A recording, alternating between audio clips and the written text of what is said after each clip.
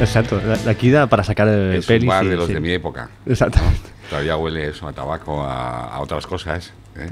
Muchas gracias por, por venir, igual por sacar tiempo de, de- pues sé que estás dando clases aquí ahora Sí. en la escuela de, de, de Banda Part y, y te agradezco el tiempo que vengas y hablemos un poco de cine. Siempre, últimamente traemos solamente, bueno, últimamente desde que empezamos cómicos por lo general Sí. y por fin hablar con alguien de, de un rubro diferente, aunque sigue siendo la creatividad de escribir y Sí. intentar estimular a la gente. Ajá. Entonces, lo primero que te quería preguntar es, eh, me gusta hacer un poco cronología, sobre todo cuando alguien tiene un, eh, un trayecto artístico, porque muchas veces parece que la gente que se dedica a algo artístico de repente como apareció en ese mundo Sí. y detrás de todo eso hay un, hay un montón de bagaje y más la gente que es de vieja escuela como tú no viene tanto de, de escuela, sino de un camino muy propio, muy personal. Sí. Entonces me gustaría hablar un poco de, de cuándo nace en ti al principio la inquietud de quiero contar historias y escribir. Bien, eh, bueno, es- eso es, es muy antiguo, claro. Yo creo que es, eh, primero está el gusto Te voy a por, poner esto porque... sí, el gusto por leer, eh, que es eh, pues es desde muy pequeño, cómics. Yo nací en Francia, vivía hasta los 10 años, entonces ahí, ahí había entre los niños una cultura de cómic, eh, vamos, muy desarrollada, había mogollón de bandos de cine que se publicaban por muy poco dinero, que casi todas eran de aventuras, no era de superhéroes y tal, sino había, un, me acuerdo, un trampero muy eh, extraordinario, se llama el Captain Swing, que tenía aventuras con los tramperos en, en los Estados Unidos en los primeros tiempos de la independencia y tal, ¿no? Y había bueno, un montón de tipos de estos. Luego los libros, ¿no? Y luego ya cuando, eh, no sé cómo decirte, cuando ya vas eh, estando en los últimos años de tu bachillerato y tal y cual, sí que había una, a mí me gustaba el cine, no sabía muy bien lo que quería ser, si novelistas, cantante de rock and roll, yo qué sé, ¿sabes? Había muchas esas cosas.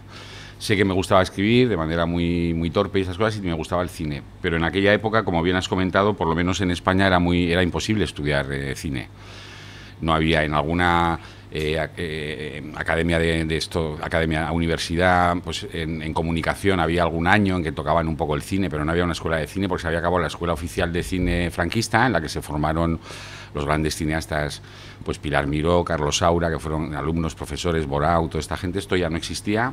Entonces la única opción era salir fuera, yo no tenía, mi familia no se lo podía permitir, entonces yo empecé a hacer una carrera universitaria que duré nada, medio año ¿De qué era la carrera? de periodismo, Vale. era en Pamplona y bueno, yo qué sé, y nada, fue un fracaso y me fui, me fui a la mili y tal, y entonces eh, volví, empecé a buscarme la vida, daba clases de francés y escribía, escribía poesía.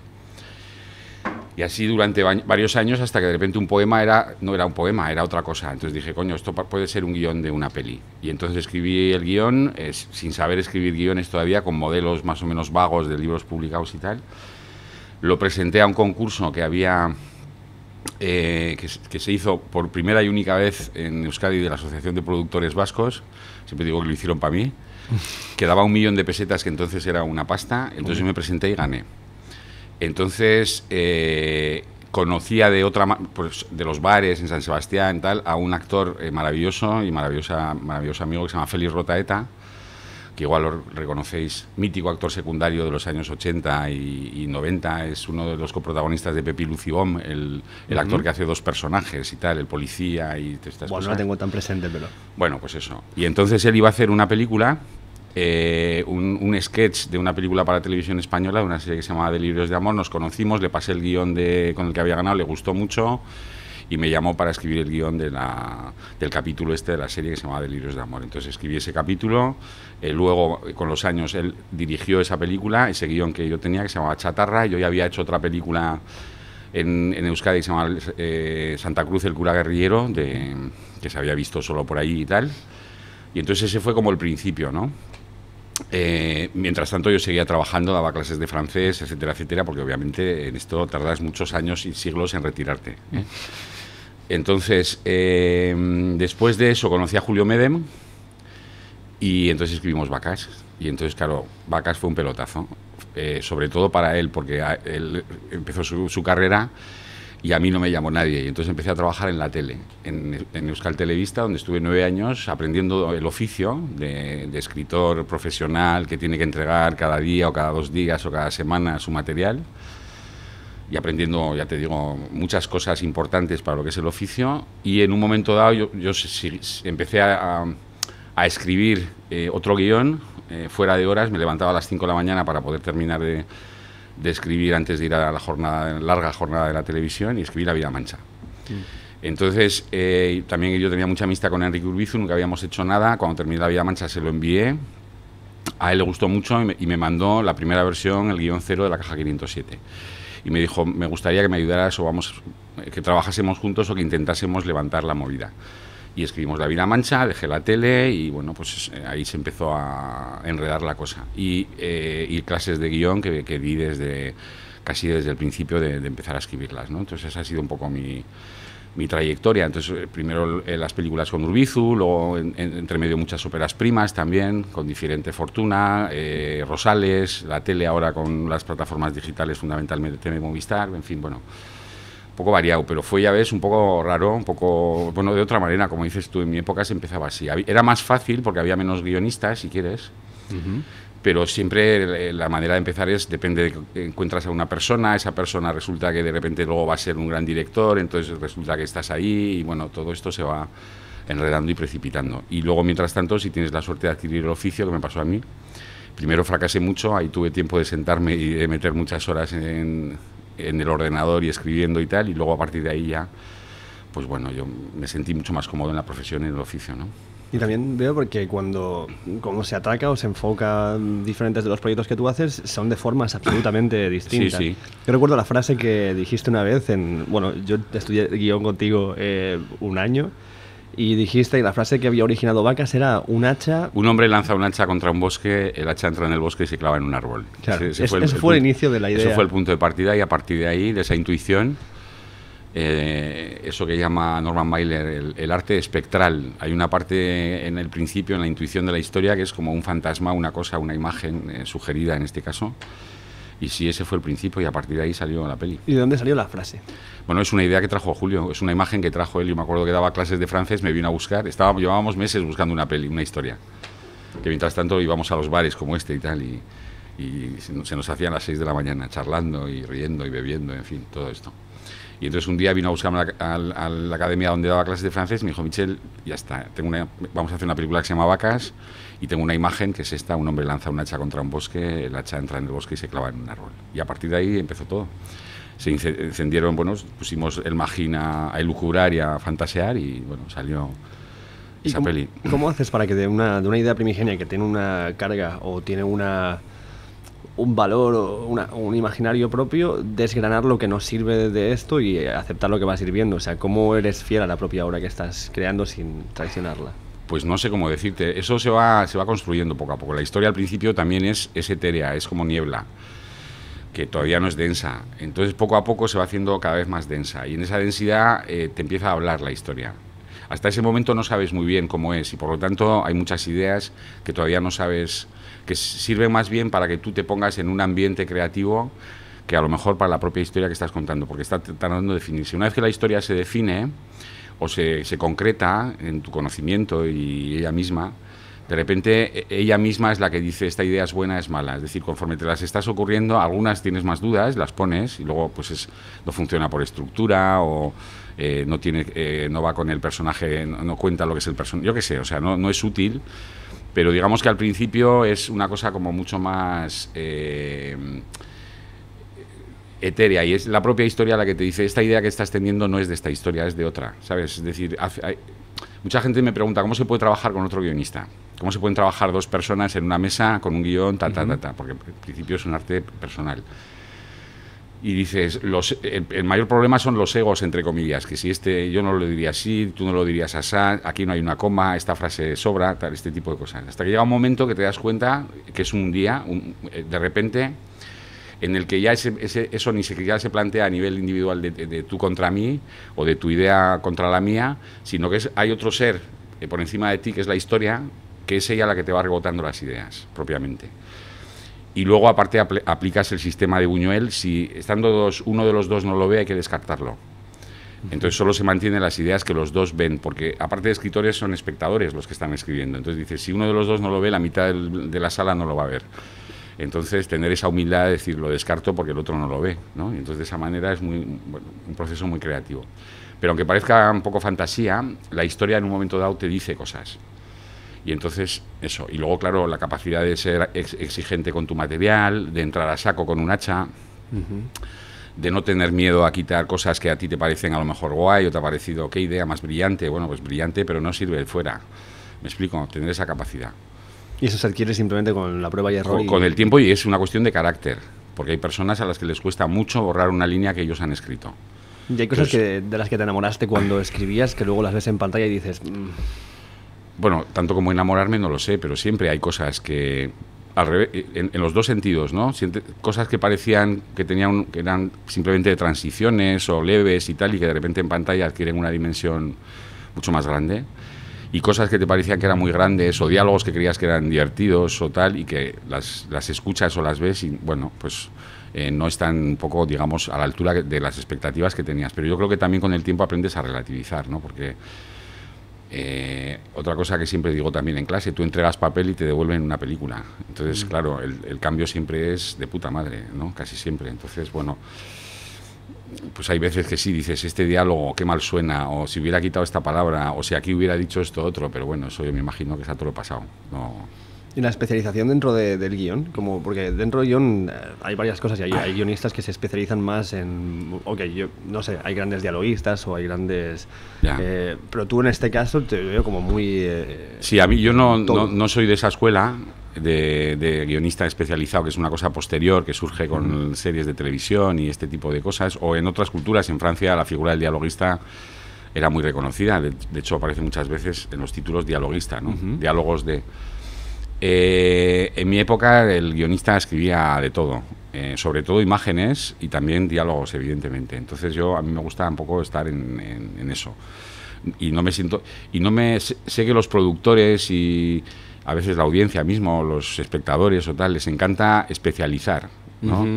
Eh, a mí todavía me llaman como guionista de thrillers, yo he hecho dos, me explico, o sea que te quiero decir que he hecho 13 pelis y he hecho dos thrillers, pero mucha gente dice, no, no, la caja guionista, guionista de thrillers. Claro, pues luego tengo la suerte de poder hacer Petra o de haber hecho Vacas o de... Entonces a mí lo que me gusta es, el guionista no tiene por qué tener un estilo.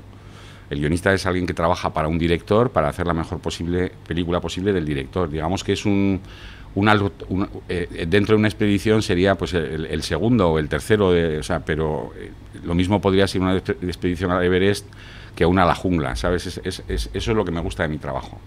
Que no tengo por qué tener un estilo, sino que tengo que tener la capacidad de meterme en el tuyo, en el del otro, en el de más allá. Y cuanto más variados, para mí, más divertido, más estupendo, ¿no? Los viajes. Y a ti la, la inspiración, por ejemplo, para tus proyectos personales eh, sale mucho de, bueno, como decías, escribías poesía, pero también eres un consumidor de poesía. Sé que Sí. en clase hablabas bastante de Baroja, por ejemplo, y cosas así. Sí. Y para ti, tanto los, de los otros artes sacas inspiración para... Hombre, yo lo primero que de donde saco inspiración es del periódico, de la vida, de, la- de- de lo que me rodea. Porque lo que compartimos con los espectadores es la vida. Por lo tanto, ahí está todo. ¿no? Entonces, periódicos, eh, fotografías a punta pala, eh, citas literarias, libros, todo eso para mí es fundamental. Y luego esas notas que vas pillando de, lo, que, vas viviendo. ¿no? es una manera de, andar por el mundo de una determinada forma, ¿no? O sea, de la misma manera entiendo que la gente que se dedica al sonido, eh, cuando anda por una ciudad, eh, escucha cómo suena una ciudad, cómo lo que el sonido dice de esa ciudad, etcétera, etcétera. Nosotros los guionistas vamos por ahí también escuchando diálogos, escuchando palabras, escuchando la cadencia del diálogo de la vida, pero sobre todo robando imágenes, ¿no? Y entonces esa es la inspiración de primera. Yo lo único que no hago, que, que he hecho en alguna vez, y todavía cuando me, me veo haciéndolo me doy pena a mí mismo, cuando era adolescente y jovencito, es ponerme con un folio en blanco, encender un cigarro y mirar para arriba, a ver si viene la inspiración a buscarme. Eso no, no lo hago. Entonces procuro, eh, leo periódicos, reviso archivo, miro fotos, eh, busco, ¿sabes? Eh, o me voy de paseo. De esa manera puedo encontrar cosas. Si me Sí. quedo quieto, no, yo no puedo encontrar nada. Es el resultado un poco de un trabajo de fondo de... ¿Quieres un mechero? ¿Tienes? No, lo tengo en el... Ah, vale. ¿Tienes un mechero, Kiker? Porque estamos... No. ¿Dónde lo tienes? Lo tengo yo en el... eh, Me sale, digo, te estaba ahí con el cigarro me sale. sí, no te preocupes, está todo bien. no, no. Vamos a dejar sin fumar, te voy a ir con el cigarro. En plan, no hay nada peor que tener un cigarro liado y no poder, no poder hacer uso. Ya está. Entonces vamos a hacer el, el sonido del mechero para que vean los oyentes que esto es verdad. Puro directo. Bueno, los que lo ven, lo ven. Los que no, ya lo pueden oír. Mm. Perfecto. O sea, Se puede ver. se puede ver. tridimensional. Sí, el- lo de los periódicos sí que es algo que en lo que, por ejemplo, sé que cuando estabas trabajando en la caja 507 eh, devorabais directamente La prensa. hemerotecas, ¿no? Sí, sí, directamente. En dos de las tres pelis que hemos hecho Enrique y yo, la hemeroteca es esencial, tanto en La Caja 507 como en Obra Paz, porque en Obra Paz hubo que investigar todo lo que fue el 11M, todo el funcionamiento, entre comillas, del tráfico de, de- de drogas en, esa época, que era bastante diferente a la anterior, eh, ya la droga no, entra por- no entraba por Galicia, etcétera, etcétera, entonces ver cómo eso funciona de otra manera. Y luego eh, el conocimiento del funcionamiento de una célula de la yihad, el cono- conocimiento de determinados eh, grupos policiales, en fin. Pero el periódico siempre como base, ¿no? En esta, de esta dupla me gustaría hablar de la dupla de tuya con Urbizo, porque para mí me parece que hay algo ahí como que, que resuena guay entre los dos, como que hay un entendimiento Ujú. En cuanto más a lo, a lo callejero o a lo, o a lo bajo del ser humano, Sí, este reconocimiento. Hay conjunto. una, digamos, tenemos los mismos padres a nivel literario y, y cinematográfico, ¿no? Somos de la misma generación, él es un poco más joven que yo, pero somos de la misma generación. Entonces somos los dos apasionados lectores de novela negra, de los clásicos de la novela negra, de los eh, clásicos de nuestra época, hasta James El- Elroy y ya no tanto igual de la última, última novela negra, pero digamos que hasta Elroy somos muy fanáticos y muy conocedores de ese, bueno, de ese género. Y luego a nivel de cine, claro, nos hemos eh, criado nos- en los 70 y íbamos al cine eh, cuando teníamos ya 17, 18 años, se estrenaba El Padrino, se estrenaba El Cazador, se estrenaba un montón de cosas, ¿no? Y el conocimiento, yo al ser francés de nacimiento conozco muy bien el cine francés, el cine negro francés de los 50, 60, 70 es estupendo. Entonces conocemos, de alguna manera el género lo conocemos bien y luego nos entendemos bien para trabajar y somos amigos, pero además trabajando nos entendemos bien, funciona. Entonces, bueno, pues hemos hecho que se hayan visto tres pelis juntos, la serie de gigantes, y luego tenemos tres guiones en el cajón y otra serie en el cajón. Y ahora estamos haciendo otra serie nueva. ¿Y cómo haces para, mm, de alguna forma, el género del cine negro, que siempre tiene estos tintes tan americanos? ¿Mm?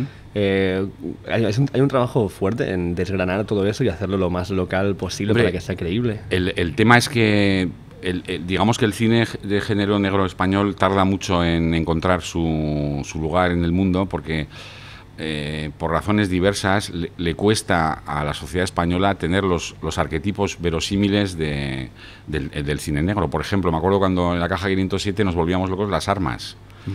Claro, aquí no- armas no tiene todo el mundo. Claro, no puedes ir a un decir, supermercado. En Estados Unidos un tío va al cajón, saca una pipa y mete un tiro al que viene a- y no hay ningún problema, pero eso lo haces en Albacete y no se lo cree nadie, ¿no? Entonces, eh, ya desde ese punto eh, era complicado. Entonces, a partir de finales del siglo XX y todo esta década, eh, lo que llevamos del XXI, claro, los arquetipos ya están. Es decir, hay más ge- eh, la, la gente armada oficialmente sigue siendo la misma, la policía, los militares, gente que tiene permiso de armas, eh, cazadores, tal. Pero aparte, las mafias están instauradas. Ya no nos parece tan raro que de repente salgamos aquí a la calle Roselló y un tío le meta dos tiros a otro. Te lo puedes creer, sale en el periódico. Me explico. Es decir, hay mafias, hay guardas jurados, hay escoltas, y hay gente que se ha tenido que proteger de terroristas o de lo que sea y que va armada. Con lo cual ya empiezan los arquetipos y luego los arquetipos de la corrupción que se pueden contar, porque durante el franquismo evidentemente corrupción no existía, ¿no? No, claro. Por supuesto. Entonces siempre si había cine negro tenía que terminar bien, ganaban los policías, claro, eso ya es un poco caricaturesco dentro de lo que es el género, porque lo, que lo caracteriza es, la, caracteriza es la moralidad. Son seres amorales que están en la frontera del bien y del mal, malos con un poco de corazón y buenos con un pie metidos en la mierda, ¿no? Entonces ahí empieza a ponerse la cosa interesante.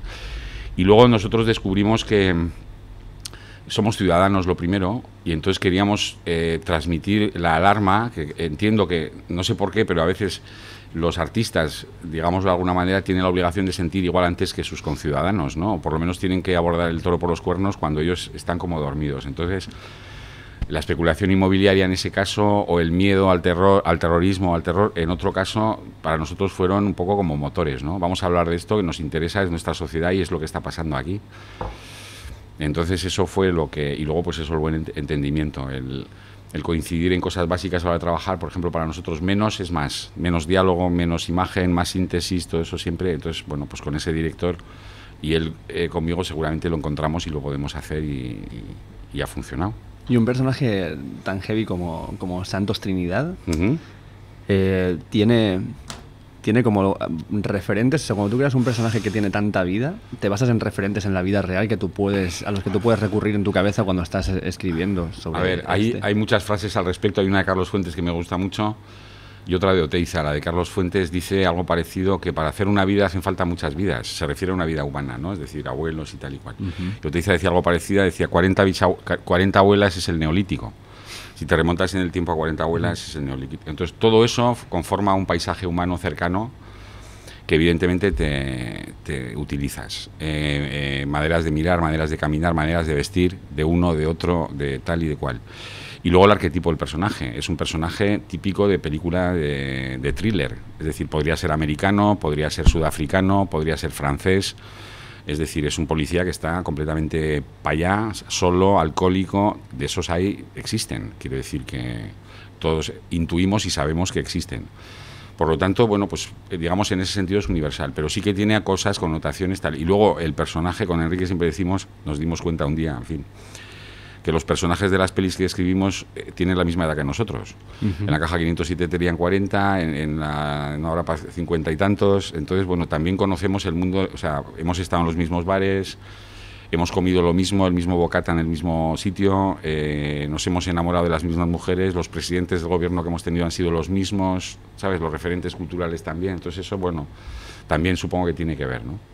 Cuando tienes, eh, estás escribiendo algo y sabes quién va a ser el actor que va a interpretar algo, ¿esto piensas que es una limitación o es una ayuda?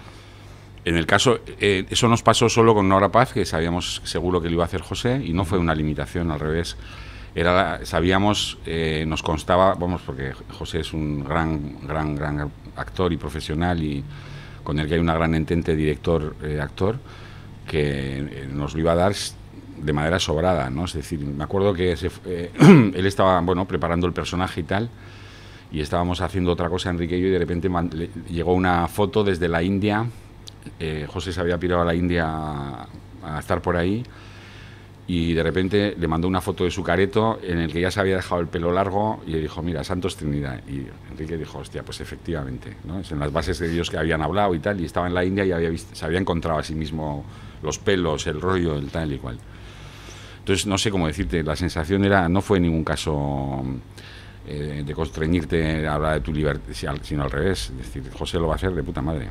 Te da como una Sí, satisfacción sí, decir, vale, seguridad. Esto va a buen puerto. Sí, lo mismo que cuando le escribe Miguel Barros el primer capítulo de Gigantes y escribe el padre de, de la- de los hermanos, sabes que es él y dices, vale, vale, puedo escribir lo que quiera, lo va a hacer, ¿sabes? Siguiendo con la dupla, va- vamos a para cerrar un poco el, el mundo eh, Urbizu. Sería en Gigantes como ¿cuándo aparece tu, incorporación a la serie de, de Gigantes? Pues eh, Gigantes es un proyecto que ya llevaba trabajándose un tiempo en base a unos guiones del autor original de la idea, que es Manuel Gancedo. Esos guiones eh, interesan a Movistar, que los compra. Entonces eh, surge el nombre de Enrique Urbizu, que estaba, Manuel y Enrique en, en ese momento eran bastante amigos y tal, o son, o son amigos. Y entonces eh, creo que Manuel le dijo a Enrique, ¿te importa que sugiera, te apetecería? Y dijo, bueno, sí, sugiere mi nombre. Entonces, bueno, surgió la posibilidad de que Enrique la dirigiese. En ese momento él tuvo sus problemas con los guiones y entonces llamó a otro guionista, Miguel Barros, y entonces Miguel, a partir de... eh, reescribió el material.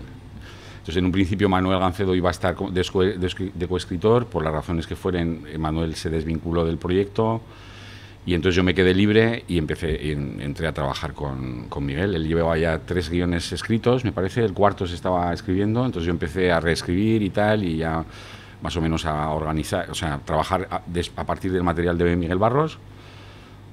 Eh, y luego ya escribimos juntos la segunda temporada. Nos juntamos para en, en su casa, organizamos las tramas, hicimos la segunda temporada y ahora estamos escribiendo otra, otra serie nueva.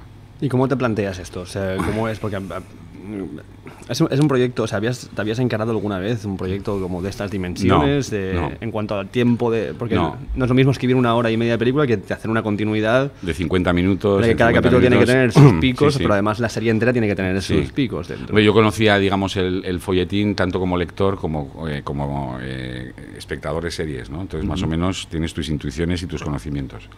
Entonces está basado en Emil Zola y compañía, ¿no? Como terminaban, como termi- empiezas arriba, terminas arriba, conflictos, en fin, giros constantes, todo eso. Claro.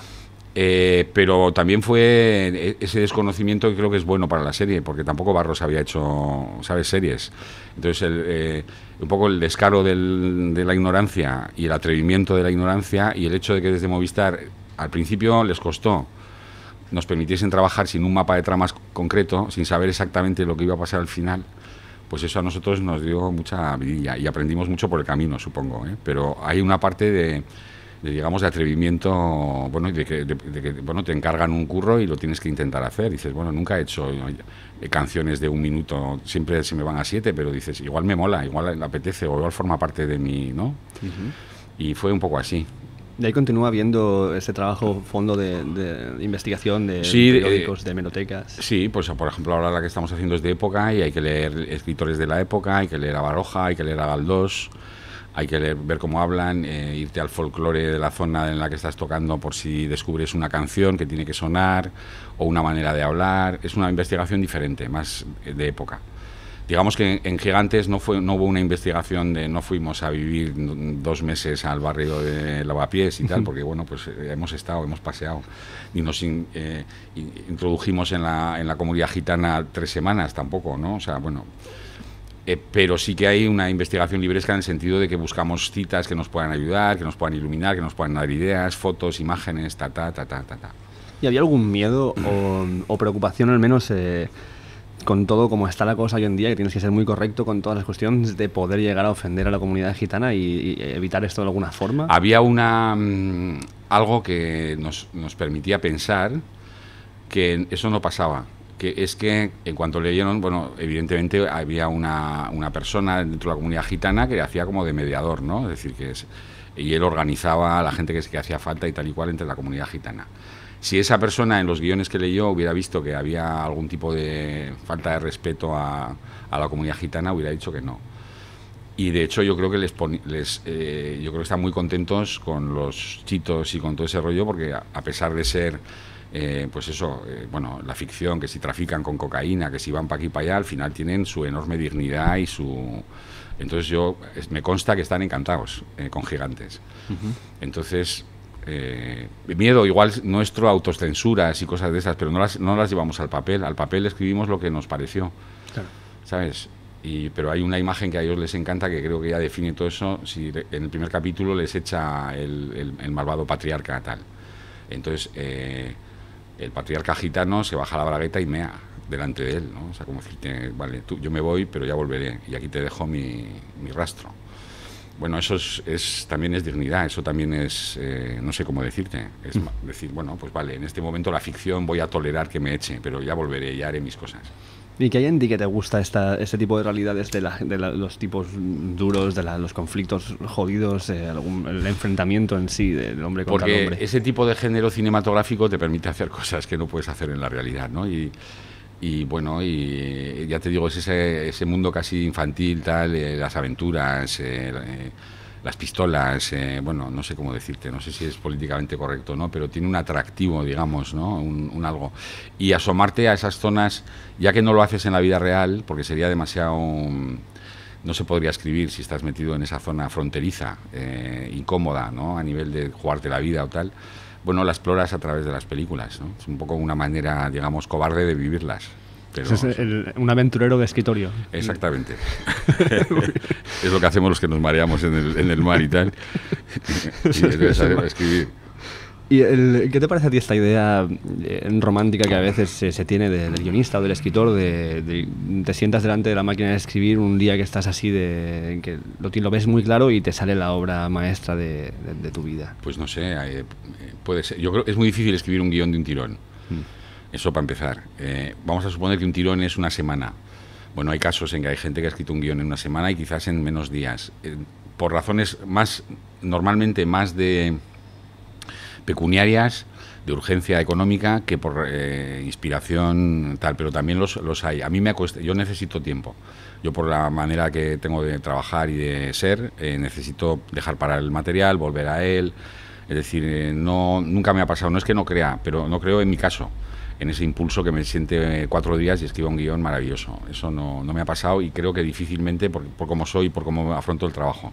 Si no es mucho más. ¿no? Hombre, soy, soy trumbo en el sentido de que tengo dos encargos que son el mismo día. Eso sí me, me ha podido pasar y he tenido que yo he tenido mi récord escribir un guion en tres días.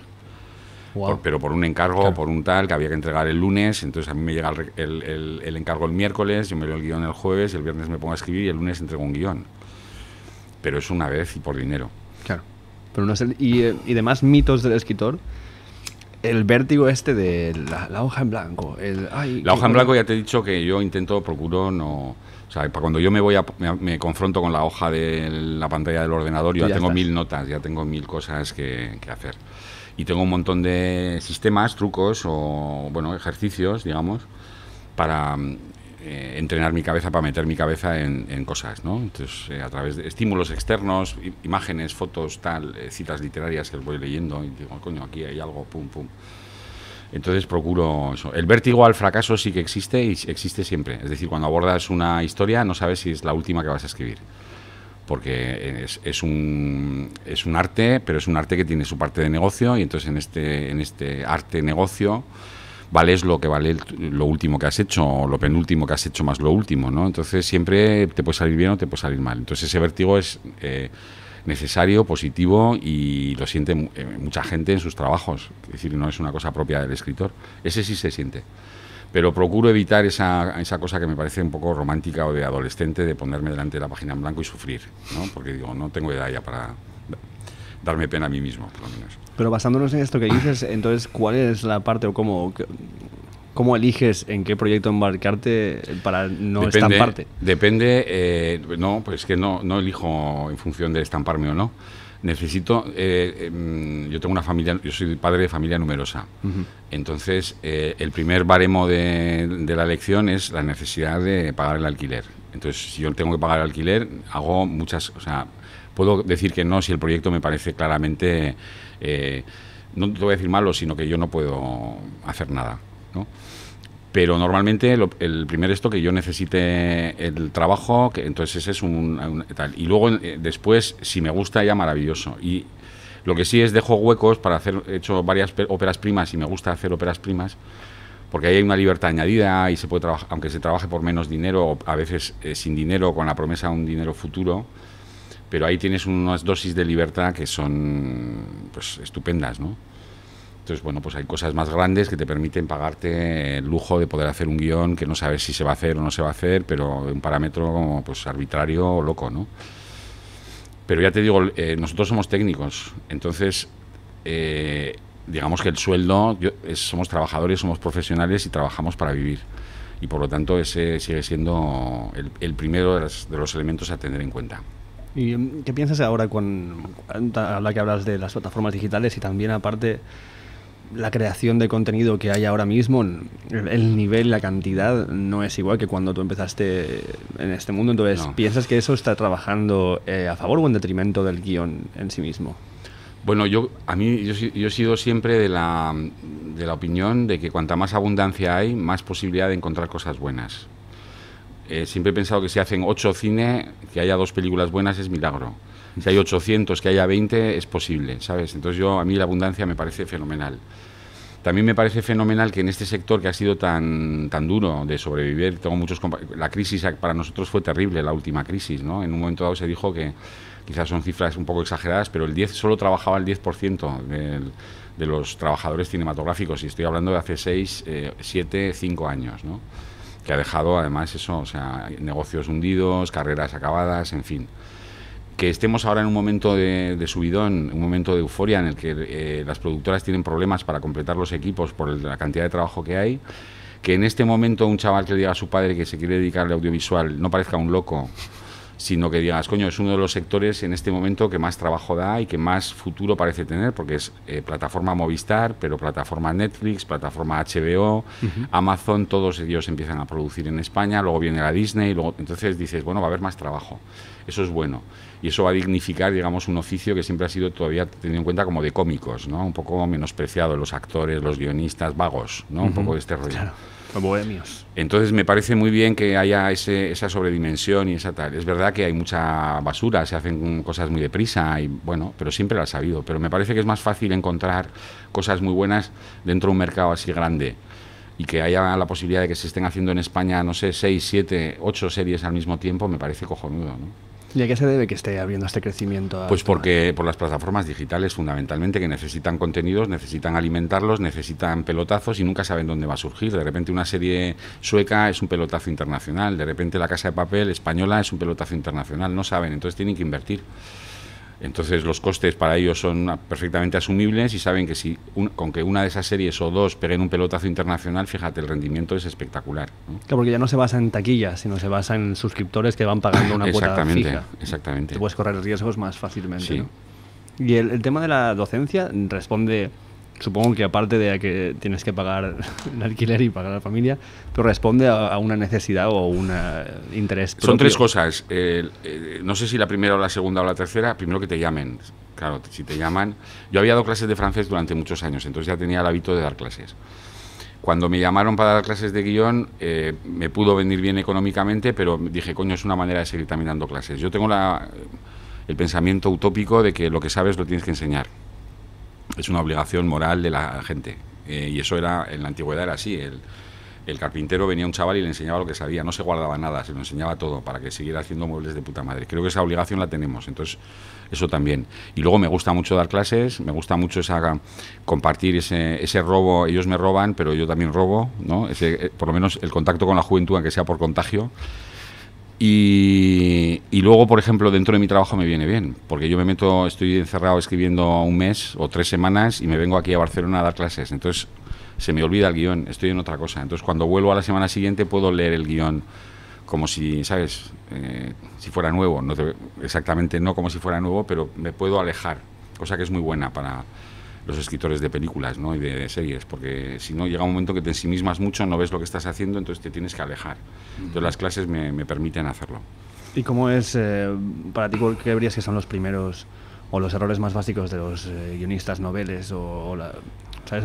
¿Dónde es donde suele haber un, fallo más grande en general? Hombre, eh, a mí... Lo, Una birra, por favor, Lo, lo, que más me preocupa de, del tema me preocupa en el buen sentido de la palabra, es eh, que recordarles que son constructores de historias a través de imágenes, que nuestro eh, arte se compone de, lo, de, lo, visual, que es un arte visual, evidentemente con audio, pero la importancia de las imágenes, porque mucha gente joven o está muy curtida en el mundo televisivo y tal, y en la televisión, incluso en las series de más calidad, mucha de la información se transmite a través del diálogo. Entonces, eh, creen que se tiene que contar con el diálogo, eh, gente sentada hablando, este tipo de cosas. Entonces, recordarles que no, no, no, el cine es un festival, es un caballo que corre, es, eh, eso es cine, ¿no? Imágenes. Entonces, bueno, eso yo creo que es una de las cosas que más les, les cuesta... Mm, bueno, es como un descubrimiento obvio, pero tal. Entonces ahí hay un poco como crujido en sus cabezas. Que a algunos les viene fenomenal para echar a correr, porque dicen, yo soy muy mal guionista, pero no importa, dialoguista, no importa, es que el cine es otra cosa. Y luego también, eh, pues en los diálogos también, ¿no? Que los, los, fallos típicos de siempre, que todo el mundo habla igual, es decir, habla igual que el guionista. Entonces cada uno tiene que hablar de una manera diferente, bueno, pues eso se va adquiriendo acostumbrar el oído a la cadencia del ritmo del, diálogo de la calle, eh, bueno, con el conocimiento de otras pelis, eh, el no dejarlo todo, no creerse que la estructura lo es todo. La estructura es una parte, pero hay otras muchas cosas. es más importante todo el aspecto espectral o mágico o creativo para darle profundidad a una película que no el puramente eh, estructural, ¿no? Entonces, bueno, se, les enseña a los guionistas estructuras, tres actos, no sé qué, el viaje la gente la repite y fracasa, claro, es que eso no es así. Hay una parte del negocio que es eh, locura, invención, fantasía, ¿no? Entonces eso lo tienes que trabajar, más, más o tanto como lo otro, ¿no? ¿Y cuáles son las aptitudes que piensas que un guionista no puede, no puede carecer? la resistencia y la autocrítica la capacidad de resistencia, porque es un trabajo muy duro, es muchos días sentado eh, y muchos días de nada, ¿sabes? De que llevarte a la boca, de escribir solo basura y tirarla al día siguiente, y esa autocrítica para poderlo tirar. Esas son muy importantes y luego, claro, evidentemente, capacidad de tener oído, eh, tener sentido del ritmo, eh, bueno, esas otras. Pero digamos que teniendo todas esas, si no tienes capacidad de resistencia y capacidad autocrítica, es difícil que lo puedas Y ahora estás trabajando en, eh, que lo, lo hacíamos, justo antes, antes de que empezamos a grabar, en un proyecto que estáis escribiendo eh, entre cinco No, no, no, no. Eh, se está rodando una peli que yo escribí, eh, mi intervención se acabó en el 2014 o Ah, vale, 2015. ok. Entonces, es una película que se llama Way Down, que, Way Down, que es la última peli de Ba- Jaime, Jaume y es un guion escrito por cinco guionistas que no nos conocen. Bueno, hay un grupo de tres que son los que iniciaron el proyecto, luego me llamaron a mí, luego llamaron a un guionista inglés. Es un proyecto en inglés y es una eh, superproducción, digamos, europea, ¿no? Eso ya está rodándose, o sea, eso ya te digo que... Vale, pero para mí, bueno, ok. Entonces, la- mi pregunta sería más, eh, ¿cómo, ah, ¿cómo funciona esto? O sea, ¿es como que escribe cada uno una parte de la peli o simplemente vas agregando capas No, son, vers- son versiones. Eh, a mí me llega una versión, están buscando un guionista, eh, yo leo el guion, digo, veo esto, veo lo otro, se lo planteo, nos dice, nos interesa lo que ves, queremos que nos des una versión nueva. Entonces yo hablo con, con Jaume, me vengo aquí, me reúno con él, con la productora, por donde va, voy haciendo versiones, las enseño, me gusta, no me gusta, cambia esto, cambia lo otro, nos ponemos de acuerdo y hasta que de repente ya termina mi, mi intervención como guionista y van a contratar a otro inglés para porque la película se va a rodar en inglés, entonces hay que rehacer los, los diálogos con un humor más británico, ese tipo de cosas. Pero es un trabajo en ese caso mucho más de te encierras, eh, entregas las distintas versiones en función de lo que tú has visto y de las ideas que te han sugerido. Nos gustaría que hubiera más de esto, más del otro, eso, eso es un encargo puro. Aquí no te pones estupendo, ¿sabes lo que te quiero decir? No dices, no, en vez de un perro, dos niñas. Dices, no, o sea, es un perro porque tiene que haber un perro. Bueno, pues vale. No sé, es un poco, digamos, es otra manera de trabajar que con Enrique, que nos sentamos y desde la nada empezamos a inventar y a esto y cómo sería y tal. Son proyectos de otro tipo, ¿no? ¿Y crees que de alguna forma cuando tienes algo así como que estás más acotado, tu creatividad Claro. se potencia de alguna forma? Bueno, hay una parte de la creatividad que tiene que ver con el, resolver problemas técnicos eh, de manera creativa, que es igual de importante en un proyecto más personal que en un proyecto, digamos, más industrial, eso es igual. Pero es verdad que, digamos, el peso de lo que te pueda, de la opinión que pueda tener la cadena o el cliente, en este caso, es más como hacer un anuncio, ¿no? Quiero que eh, quiero esto, quiero tal, quiero ritmo, quiero no sé cuál. Bueno, pues vale, ya sabes lo que lo que te están pidiendo, ¿no? Y en poesía sigues, tra- sigues trabajando Pero muy, personalmente. muy lentamente, o sea, muy despacio. Muy, yo tengo tres libros y cada uno tiene 10 años de diferencia entre un libro y otro, o sea que me parece que me toca dentro de tres años o cuatro. Si es que tal. Tengo un puñado de poemas eh, que voy trabajando, de vez en surge uno, pero no, no, no le dedico, no soy un poeta en ese sentido, o sea, no tengo. Mi, mi- cuando me siento, me siento a escribir guiones. Y en algunas ocasiones, algunos poemas que podrían ser poemas se van a las películas, ¿no? Haikus pequeños y tal, cositas. ¿Y tiene que eso. ver esto, crees que con...? Porque para mí yo pienso que la poesía tiene en común a lo mejor con el guion cinematográfico en que estás escribiendo en imágenes también, o, o en sí, sí, sensaciones. sí, y más cosas. Y es una escritura en vertical, como la del guion, decía no sé quién, es verdad. Y luego eh, montas, el ¿Cómo? montaje. El, el poeta versifica, el verso es montaje, es la selección de sílabas, el ritmo, tal, tal, y el guionista monta también. Elige dónde empieza la secuencia, cuando hay una elipsis, cuando no la hay, tal. Entonces, esa capacidad de, de corte, de, de no ir a lo lineal de la novela, el relato más en continuidad, eso ayuda mucho. Yo creo que es lo que más ayuda. Cuando estás escribiendo, eh, piensas a veces en... Depende de cómo sea cómo- o con quién vas a trabajar en, en la producción del proyecto en sí mismo y en las limitaciones que puede llegar a tener. El, el- el- el presupuesto es muy importante siempre para que no se te vaya la cabeza a la hora de escribir. Tienes que saber más o menos en, en- en qué presupuesto se va a mover la película, porque si no puedes escribir una película cara y luego tienes que volver a tu casa a convertirla en una película barata y es un- una tragedia. Porque Pues porque, claro... mucho eh, fuera de campo... Claro, conviertes, igual tienes una persecución y de repente tienes un tío y dice, mira, están corriendo. Entonces, claro, es muy distinto, no es lo mismo, ¿no? Entonces sí que tienes que saber más o menos eh, que- por dónde te vas a mover, ¿no? Y en, y en tema de, por ejemplo, derechos también, ¿no? Porque recuerdo que para La Vida Mancha, la escena en la que están en el lago, teníais pensado a Van Morrison, Sí, pero luego fue en plan, esto no se puede. No se puede porque era muy caro y entonces fue una canción de, que es mucho, mucho mejor, porque además Sí. siempre los contratiempos traen un regalito. La canción de Luz Casal y Rosendo, A la sombra de una mentira, me parece que es titula, que es mucho más... O sea, va de eso, la película, ¿no? O sea, en esa película para mí hay algo muy peculiar que es el que el personaje principal en la vida mancha, te hablo, no tiene como una historia, no, no tiene un background, tú no sabes Sí. nada de esta persona. Entonces, Sí. ¿cómo encaras un proyecto en el que tienes que dar la mínima información posible de alguien que sale todo el rato? eh, Sí, en- en a ver, te escena? explico. Cuando yo escribí el guion había un prólogo. Y en ese prólogo ya se intuía que era bastante pirata el hermano que volvía. Vale. Eh, cuando yo le mandé el guion a Enrique, me dijo, eh, cuando ya decidió dirigirla, pues en un principio dijo que no, que no la iba a dirigir porque era demasiado difícil. Yo no entendía, si es que no, no pasa nada. dice, no, por eso es difícil.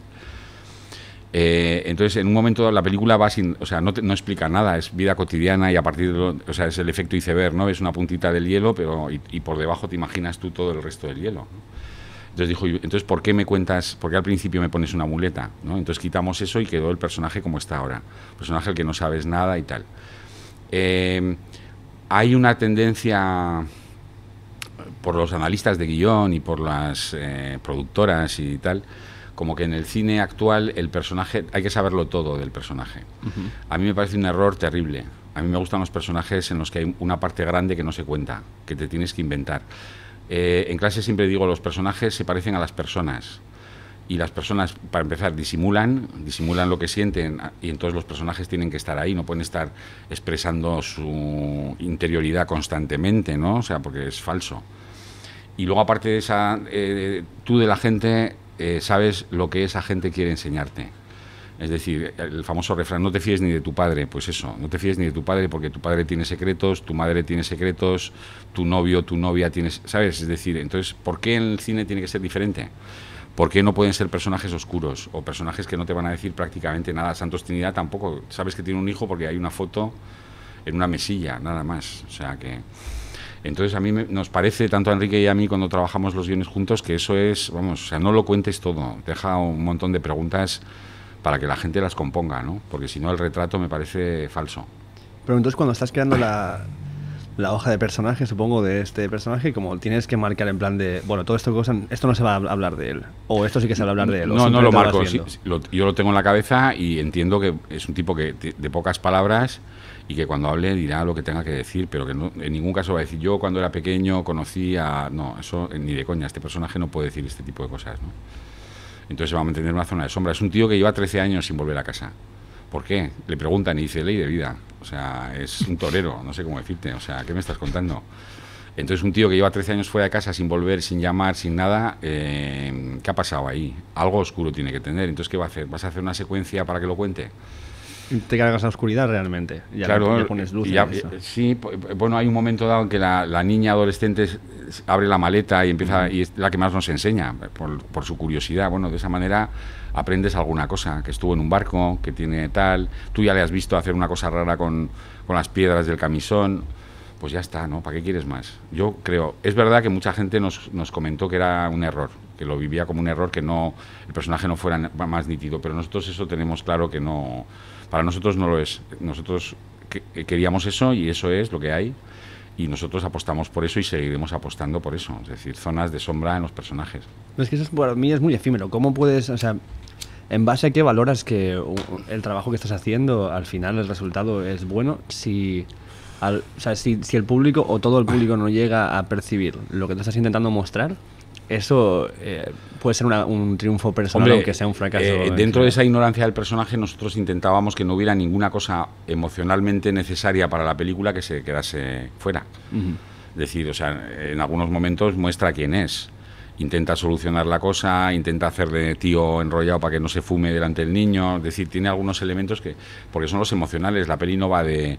No es una película de delincuentes. Es una peli en la que hay un delincuente, pero es una peli de relaciones humanas, es una historia de amor, o varias historias de amor. Entonces, con que haya lo suficiente de eso que creo que eso se cuenta muy bien, esa incapacidad, esa capacidad para generar el bienestar de los, de los demás, pero incapacidad para generar el suyo propio, ¿no? Uh -huh. Esa soledad que lleva consigo. Entonces yo creo que con contar eso eh, y poco más es suficiente. Yo creo que está la información, es lo que dices tú, información suficiente como para que tú, si tienes un, un espectador activo, vayas completando esto. Claro, claro, La putada es que no hay esa educación en general y no tiene, no, o sea, y hay mucha gente que no son, que quieren lo que se lo den todo mascado a lo mejor. Yo creo que también hay mucho mito y hay mucho ejecutivo que dice que la gente quiere que se lo den todo mascado. No sé si me o sea, que nos volvemos más tontos porque nos pensamos que somos tontos y Exactamente. hacemos cosas. O sea, yo creo que nunca se ha tenido la gente tanto hábito de leer imágenes y por lo tanto tanta capacidad de, para poderlas comprender, ¿no? El tema es como les trates. Nosotros intentamos, lo único que podemos hacer es en las pelis que hacemos tratarles como si fueran gente más inteligente que nosotros, que lo que consideramos que son. Entonces, claro, pues eh, va, casi todo es mudo, hay poco diálogo, entonces tú si es mudo, la gente es la que tiene que hacerse el diálogo, por lo tanto se mete, conviertes al espectador pasivo en activo. Que a alguno le pueda parecer un coñazo, pues bueno, pues lo siento, pero hay mucha gente que lo agradece, ¿no? Porque creo que hay, el espectador de ahora no, yo no me creo que sea más tonto que antes. Sí me creo que los que eh, gestionan eh, los contenidos de la industria audiovisual en, en general, tanto televisiva como cinematográfica y tal, hay mucha gente que tiene esa teoría que les han debido decir en un máster de que la gente es gilipollas y quiere gilipolleces. Dices, bueno, pues cuando quiere gilipolleces, cambia de, canal y ya lo ve, supervivientes. Te puedes quedar media, vale, pues de puta madre, pero si quieres ver la caja 507, pues la caja 507 es como es y la gente, mucha gente lo agradece. Y no gente de carrera universitaria, gente corriente, ¿sabes? O sea, que comprende la película, porque están los, los elementos suficientes para que puedas entender de qué te hablen, sin tratarte como si fueras imbécil. Porque aparte la, la película sería mala. Nosotros queremos hacer películas que no sean malas, ¿no? ¿Y qué piensas del extremo de lo contrario, de directores como Godard o, Garrera, a lo mejor, que son más crípticos y que necesitas tener un bagaje o haber visto más cosas de ellos para que puedas llegar a comprenderlo? Pues me parece muy bien eh, que sigan haciendo, porque entiendo que también hay, evidentemente depende de las audiencias a las que quieras llegar, ¿no? Eh, si quieres estrenar en cine, si no tienes, eh, si quieres hacer género, si te gusta hacer género, pues cuando haces género, críptico puede ser lo justito. Es decir, pero si haces una película con Godard, entiendo que es otro tipo de cosas. A mí me parece muy bien que, se hagan muchos tipos de cine muy variados, crípticos, menos crípticos, más crípticos. Siempre que no sea masturbatorio, siempre que sea por algo, ¿sabes? Siempre que encuentres realmente tu público, aunque sea más pequeño, siempre que llegues a otro, pues a mí me parece fenomenal. ¿Qué sería masturbatorio para ti? pues un tío que hace una eh, película para agradarse a él, ¿sabes? O sea, que no tiene en cuenta de ninguna manera a ningún tipo de espectador. Eso para mí es lo masturbatorio, o sea... ¿Tienes algún ejemplo de esto? No, no sé, no. Si lo tuviera no te lo iba a decir ahora. Pero eso se ve mucho en la escuela. En la escuela que tú has estado en la escuela, eh, veías los proyectos de los chavales y se creían que eran San Dios, pero recién visitado por la Virgen María, ¿sabes lo que te quiero decir? dices, tío, yo me acuerdo una vez un chaval muy majo, ¿eh? que me enseñó un corto que había hecho, que era terrible. Eh, y entonces había una, dos personajes, eh, una ventana con un pelotazo de luz roja y dos personajes ahí sentados, callados, dos minutos. Yo decía, yo me movía en la silla y tal. Y entonces decía, pero ¿cómo? Yo dije, ese plano es, o sea, ¿qué cojones me estás contando? Y dice, no, yo quiero contar porque la luz roja significa la intensidad dramática me estás contando es una puta luz roja que me está dando en la cabeza, ¿sabes lo que te quiero decir? Entonces ahí está lo masturbatorio, esa necesidad de, tú crees que eso significa, pero claro, eh, la prueba de algodón en el cine audiovisual es que al otro lado tiene que haber alguien que diga, me interesa lo que me has contado.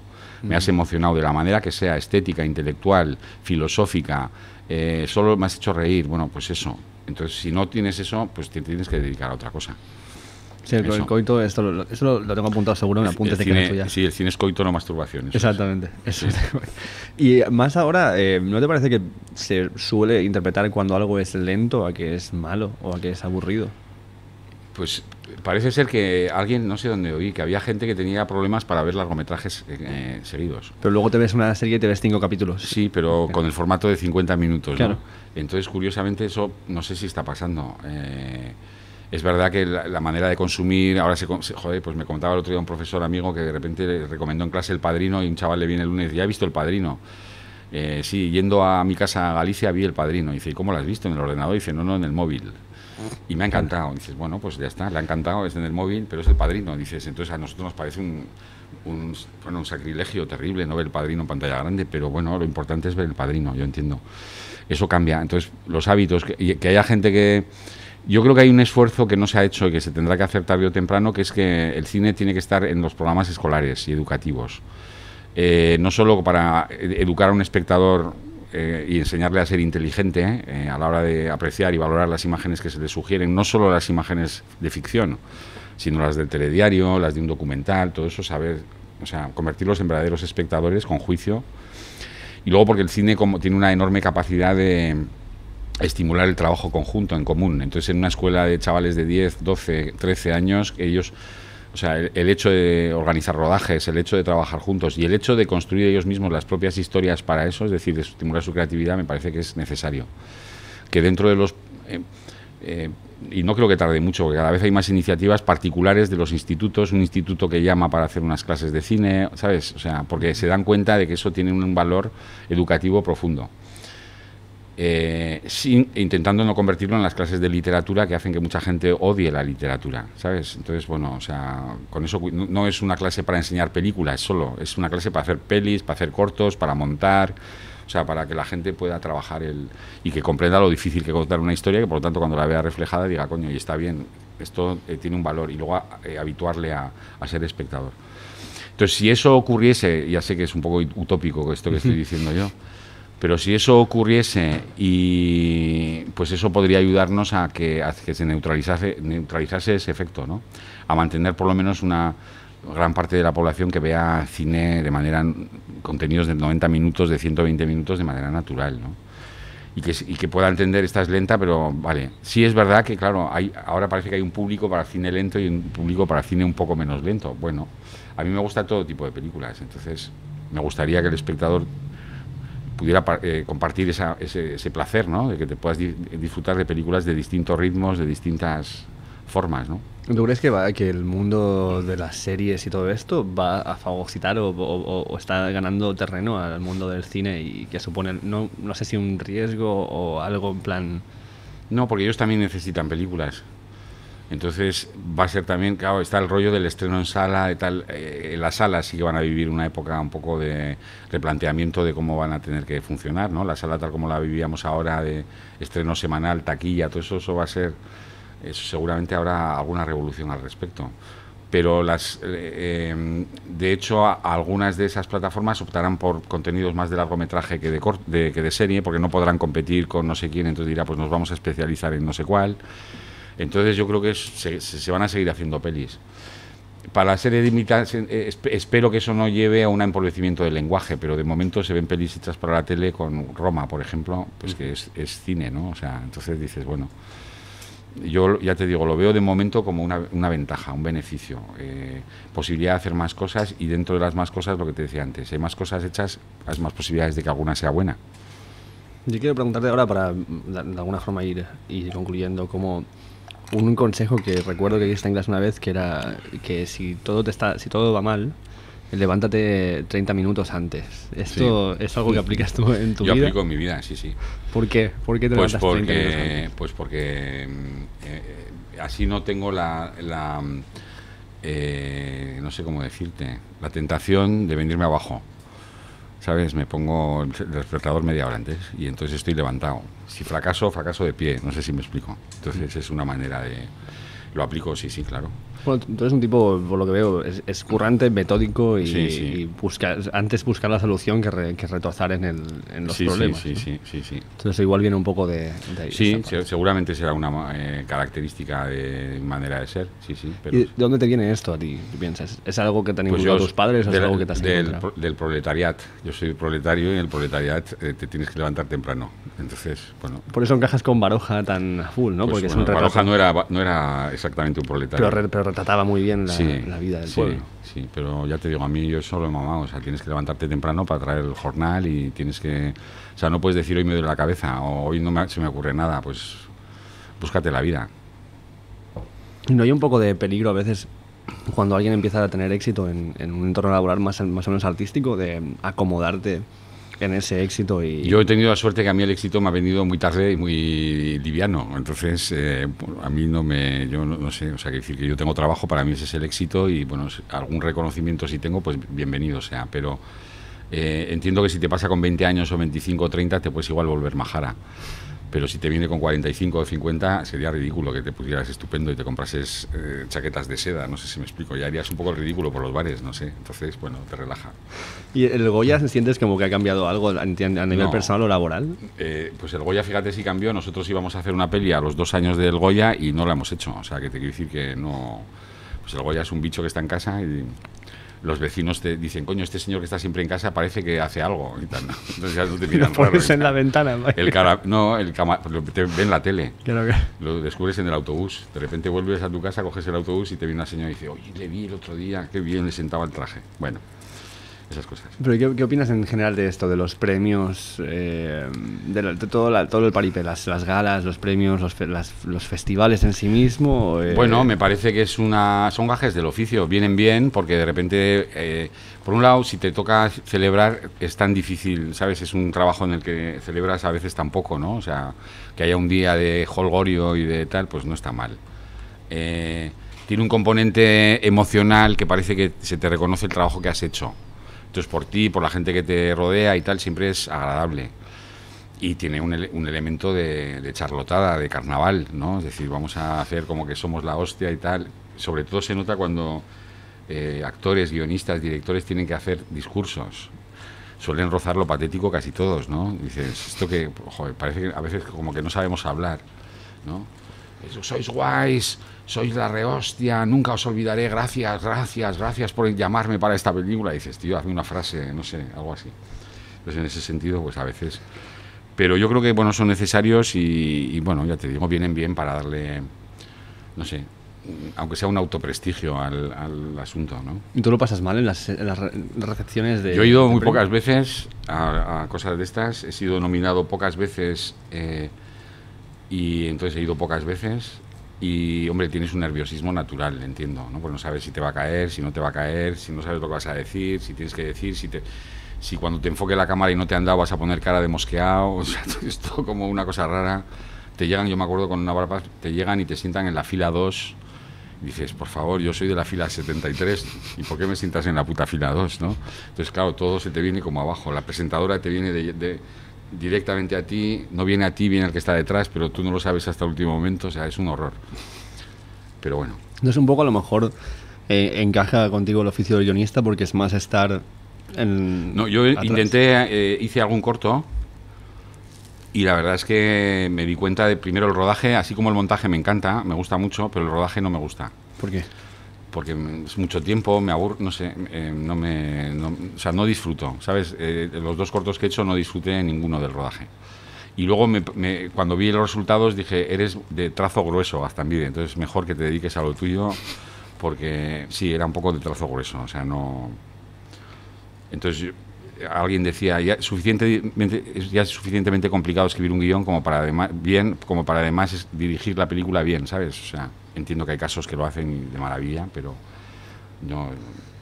Y de cada persona con la que trabajas, supongo que aprendes algo o adquieres ciertas eh, Sí. habilidades. Como, por- vamos a, yo sé, por, por poner Julio Menem y, y Urbizu, me imagino que es como o la gente que yo, yo tengo más presente con la que has curado.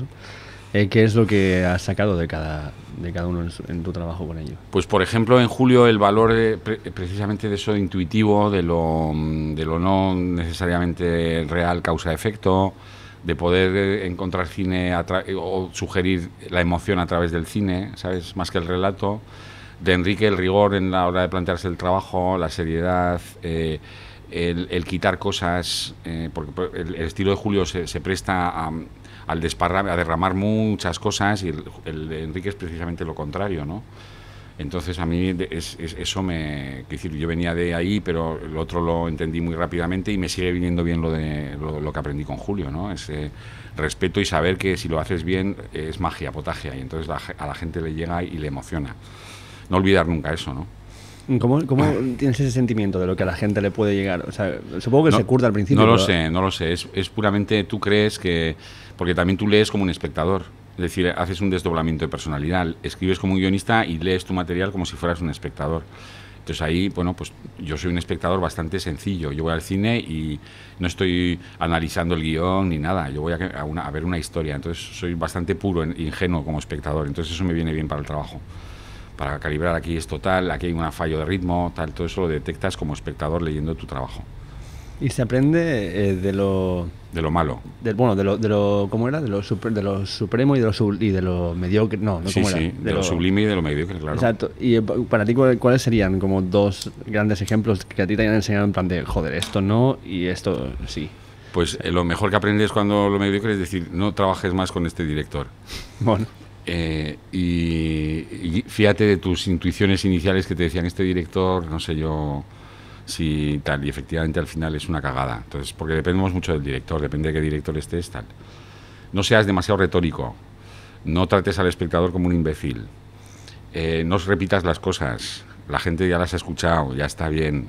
No hagas eh, aspavientos emocionales, no hagas que los personajes a los que les duele la tripa se retuerzan por, la, por el suelo. Bueno, pues no sé, de esas cosas de esas. En cuanto a, mm, al tema de, de, clases y tal, eh, hay como momentos en los que ves o reconoces o te reconoces a ti mismo eh, o cosas de ti o cuando, cuando estás empezando en, en, gente a la que estás enseñando y de alguna forma eso te... Como, o sea, eso quiero decir, como que puedes ver apuntes hacia... Hombre, eh, en la escuela lo que es un momento siempre magistral o maravilloso es cuando descubres talento porque hay mucha gente y no hay mucho talento. Eso es así. Es decir, hay mucha gente que quiere, porque va a las escuelas de cine, pero no todos, al principio igual que todos quieren ser directores y poco a poco el sentido común ya les va colocando los distintos oficios de la peli y todas esas cosas, ¿no? Pero cuando descubres un corto que tiene talento, ¿sabes? Cuando descubres eso, el talento de un alumno es un momento maravilloso. Intentar no estropearle, darle eh, aliento y al mismo tiempo ser severo para que crezca. Eh, con algunos funciona, con otros no porque algunos de repente se, reconoce, se les reconoce su talento y entonces de repente Kubrick. dices, chaval, tienes 17 años, no me jodas, o sea, baja. Cuesta mucho. Pero hay otros que no, que no es, que no es así, que bueno, tienen un proceso y tal, pero que les ves, dices, tienen talento. La misma el momento que cuando tú te enseña Julio Medem un corto que se llama Las seis en punta, lo ves, te vuelves y dices, ¿lo has hecho tú esto? dices, qué de puta madre es esto, ¿no? dices, o sea, un tío que, que tiene, que es, que es cojonudo, no sé, cuando descubres eso, es yo creo que lo, lo, que justifica también toda tu pues el proceso, ¿no? ¿Y en qué punto como, como profesor, por ejemplo, eh, haces el, o, puedes hacer el, el, trabajo de no juzgar el trabajo que se te presenta como lo que a ti te gustaría, lo que tú harías, sino como lo que es bueno en base a esa persona, ¿no? Bueno, en, en, base a esa persona yo creo que tiene que ser bueno en base al cine. Vale, perfecto no en base a esa persona. Claro, porque sí, porque no, yo, no soy, yo, no soy, su abuela, te quiero decir. Que, sí, entonces no me, no me, interesa. O sea, lo que me interesa es que haga buenas pelis. Entonces, bueno, pues hay una serie de. Nos, nosotros vamos viendo cortos, vamos viendo tal, y yo les digo, este es el nivel. Estos son los cortos que ganan eh, premios en los festivales, estos son los cortos que ganan Oscars, o estos son los cortos que ganan no sé qué, o que están, que tienen no sé cuántas mil millones de descargas. Estos son los cortos. Entonces, este es el nivel al que tienes que llegar. Entonces, a partir de ese nivel, eh, juzgamos los demás, ¿sabes? Y luego llega un momento que dices, bueno, pues vale, ya descubres que el, el, alumno con que consiga contar una historia correctamente ya es suficiente y hay otros a los que les tienes que exigir más porque ves que pueden dar mucho más, ¿no? ¿Y ahí te pasa como a los eh, médicos que intentan inculcar en su familia la medicina y que sus hijos sean médicos? Como Ni de coña. Ni de coña, no, ¿por qué? No, porque no, porque tengo tres y ninguno va a hacer. Bueno, el segundo está haciendo animación por 3D y tal, está haciendo un máster, pero el eh, pequeño hace biología y música y el mayor eh, hace música y, eh, quiere, y, conduce autobuses, quiere conducir autobuses, o sea que no tiene nada que ver con esto. Han visto a su viejo demasiadas horas metidas en un cuarto, entonces ya saben que lo que sea eso es duro, ¿sabes? Entonces no... Es muy solitario a veces el curro de, de guionista. Bueno, es solitario el curro, claro, porque eh, cuando escribes solo, escribes solo, pero bueno, yo eh, lo bueno que tiene el, el guionista es que no tiene por qué estar en un rodaje, o sea, yo vivo en casa con mi familia. Entonces, de vez en cuando viajo a, mis clases o a tener reuniones con uno o con otro. Puedo estar una semana entre, escribiendo con Enrique o con otro director, pero yo vivo en mi casa y escribo en mi casa. Por lo tanto, eh, no sé cómo decirte. Ese ensimismamiento está constantemente manchado para bien por la vida familiar. ¿Sabes? Que hay que hacer la compra, que este tiene un problema en el cole, que el otro eh, no sé qué, ¿sabes? Este tipo de cosas. ¿Y no has vivido algún proyecto que haya sido como un reto a tu paciencia y a tus facultades de decir, joder, esto cómo va? Esto no bueno, casi todos. Casi, ¿Casi todos? todos? sí, sí, casi todos son. O sea, la caja 507 es año y medio de escritura, 17 versiones. Eh, no habrá paz para los malvados, un año para encontrar un tratamiento. Gigantes, no te quiero ni contar lo que ha sido. La serie nueva que estamos haciendo, no te quiero ni contar lo que está siendo. Siempre es siempre es difícil y cuanto más difícil más posibilidades de que esté bien es, es sabes o sea yo no he tenido muy pocas veces que, o sea y creo que nunca abordo un trabajo como diciendo esto va, lo hago con la remanguillé no hay un grado de estoicismo en esto. Sí, sí. Absoluto, Sí, de pelear. Sí, sí, y de, y de- eh, sí, sí, y, y- y de monje Shaolin, de estos que tal, y hacen una serie de ejercicios con las tablas y tal. Claro, pues una disciplina.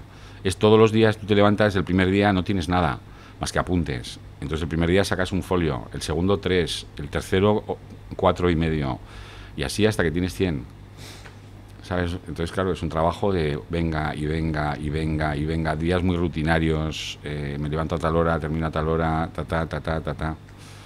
Sí, por lo menos es mi sistema de trabajo. Y fuera del curro en sí mismo, ¿hay como elementos o rituales que hagas para mantener la disciplina funcionando? No, no. Caminar, eh, suelo dar un paseo y tal, pero no, más que eso no. ¿Y cómo se construye esta disciplina? ¿Simplemente es al, al hecho de tengo que currar y lo hago? ¿O con el tiempo vas descubriendo? Con el tiempo vas descubriendo lo que te funciona mejor. Por ejemplo, yo trabajo mucho mejor eh, eh, levantándome muy temprano, las mañanas son más útiles que las tardes. Bueno, sí, encuentras tu manera. Hay gente, por ejemplo, el co-guionista Miguel Barros, con el que yo trabajo ahora, él trabaja mejor por la noche que por la mañana.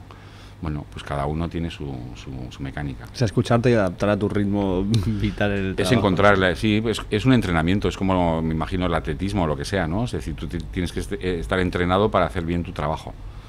Entonces, eh, la disciplina es una de las partes esenciales. Los músicos también lo conocen muy bien, ¿no? Es decir, para el disfrute del concierto hay un montón de horas previas, ¿sabes? En que te destrozas los dedos y tocas la guitarra o tal, y suena, no suena.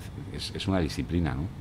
¿Y qué obras son para ti como, como grandes obras del guion en cuanto al resultado o el trabajo que puedas Me saber? cuesta mucho siempre decir, eh, o sea, yo siempre pongo en clase Alguien voló el niño del cuco, que me parece una de las películas más estupendas de la historia y tal, pero hay otras, no sé. Me gustan, eh, pues, eh, hemos hablado del Padrino, pues El Padrino me gusta, me gustan muchas películas de cine italiano, neorealismo, Los 400 golpes en Francia, tantas, ¿sabes? O sea, No hay un tengo género en concreto que te, que te no, eh, bueno, me gusta mucho el thriller, sí, sí, el thriller lo veo, veo todo lo que puedo y más. Eh, pero vamos, veo todo tipo de cosas. Y a nivel de ah, actualmente, eh, aparte de bueno, aparte de que sé que Carmelo Irribarren es, eh, es amigo tuyo y Sí. tal, ¿hay poetas contemporáneos a los que sigas o trayectorias No. que te molen? ¿O eres No, Car- clásico? Carmelo y, y Roger Wolfe Son los. y Chiar Mínguez, que es una poetisa de Vizcaya que también sigo, pero no sigo mucho. eh, por ejemplo, toda la nueva tendencia de los poetas de Aguilar y los poetas jóvenes y tal, prácticamente los desconozco todos. Leo más eh, pues poetas viejos o poetas antiguos, es decir, ya no sé cómo decirte. Es a lo mejor porque responden a un imaginario o una realidad con la que te eres más afín o algo No, simplemente porque en esta época de mi vida leo menos poesía y la que leo, pues ya te digo, prefiero acudir a los viejos libros que tal, disfruto con ellos. He descubierto alguna poesía, pues son poetisas americanas de los años 50 y 60. Anne, Anne Sexton, que me parece maravillosa, por ejemplo, ¿no? Pero eh, en general no, no estoy, pero no, no, no podría decir si es buena o mala la poesía nueva esta. Creo que hay un debate que si eh, esos no son poetas, dicen unos, y los otros dicen... Porque no usan rima y haces No más tengo ni puta- ¿no? no sé Sí. lo que es, pero bueno, pues los profesores de universidad dicen, es que esos no son poetas. Dices, bueno, a ver. Y a lo mejor tú tampoco, no sé. A mí me gusta mucho, por ejemplo, que sí sigo un poco por mi hijo, eh, mis hijos que me meten música actual y tal, pues hip hop, eh, ahí creo que hay muchos poetas. Mm. Eh, algunas letras que me pillas y dices, coño, esto es una letraca de puta madre, ¿no? Y eso me. Sin conocimiento, simplemente intuitivo, una vez te ponen una canción y dices, coño, la letra está muy bien. eh, me parece que hay muchos poetas. No sé si dentro de los poetas de internet también habrá muchos poetas estupendos, no, lo sé. Lo que sí es verdad es que se ha conseguido que la poesía exista. Es decir, hay mucha gente que la lee, mucha gente que la escriba o lee. O sea, me parece fenomenal porque, en fin, antes no era así, ¿no? Eh, la última cosa que te quería preguntar es eh, que a la hora de, de escribir, eh, ¿sueles hacerte una banda sonora para escribir y ponerte en el... Más Enrique que yo, yo eh, alguna vez, cuando trabajamos juntos, él va recopilando canciones que nos ponemos todos los días y que utilizamos casi como los perros de Pavlov. Cuando empezamos la sesión ponemos la música para meternos dentro de la historia. Más Enrique que yo, yo ah, pues en alguna ocasión y tal, cada vez menos, ¿eh? En La Vida Mancha me acuerdo que sí, escuchaba tres o cuatro canciones siempre las mismas, pero ahora normalmente lo que me pongo es música de fondo jazz o, o música clásica. De Pero nada fondo, concreto, nada simplemente concreto. que no tenga letra y que te lleve Eso a es. una tranquilidad y Eso ya está. es. a- casi a no escucharla, ¿no? Pero es como para, porque eso te lleva a un, yo qué sé, porque es como cambiar algo inconsciente de esto es trabajo, ahora estamos trabajando. No sé, algo. me, me- me funciona, me funciona como banda sonora de tal. Pero cuando estamos con Enrique, sí, él, él además hace el CD y, o sea, va mezclando las canciones y tal. Sí, sí, se le ocurre mucho y le viene muy bien. Bueno, molt bé, pues no sé, yo para mí, eh, yo estoy bien aquí, no sé si hay alguna última No, conclusión no, que te vendría a la mente. Nada, no sé. ya, Nada. te, ya te lo he contado todo. Pues yo creo que estamos bien. Eh, entonces vamos a despedirnos. Kike va a venir aquí. Vamos a decir adiós aquí a la, a la A la- cámara. a la cámara, pues nada. Vamos a brindar con una copa vacía de Kike, no pasa nada. Venga. Y muchas gracias por venir. A eh, vosotros por tío. la invitación. Gracias. Pues hasta Venga, luego. hasta luego. Chao.